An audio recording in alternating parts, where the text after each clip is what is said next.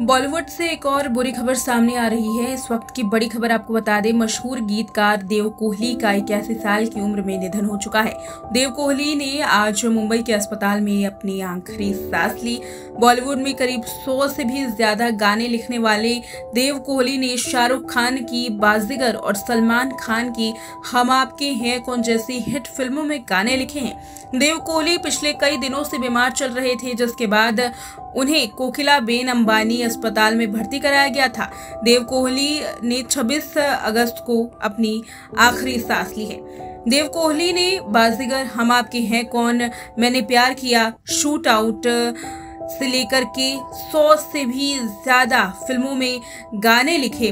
उन्होंने आखिरी गाना कंगना रनौत की फ़िल्म रज्जो का लिखा, जिसमें गाना मेरे दिल की ट्रेन बुलाती है लिखा था। देव कोहली ने शंकर जयकिशन से लेकर विशाल शेखर तक के संगीतकारों के साथ काम किया है। दो नवंबर 1942 को पाकिस्तान के रावलपिंडी में देव कोहली का जन्म हुआ था। साल 1900 पचास के आसपास देव कोहली दिल्ली आए थे और बचपन देहरादून में उन्होंने बिताया था, जिसके बाद करियर की शुरुआत की। देव का पहला गाना शाहरुख खान की फ़िल्म बाजीगर का था। गाना ये काली काली आँखें, जो कि काफ़ी सुपर हिट हुआ था। गाने में अनु मलिक ने आवाज़ दी थी। बाजीगर का ये गाना लोगों को काफ़ी पसंद आया था।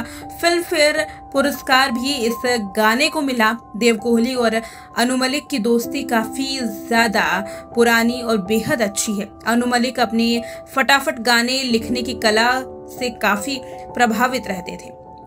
बता दें कि ज़िंदा दिली इंसान, देव कोहली के गाने लिखने की कला काफ़ी ज़्यादा बेहतरीन थी। सिर्फ़ दो से तीन मिनटों में देव एक गाने का मुखड़ा लिख करके तैयार कर दिया करते थे।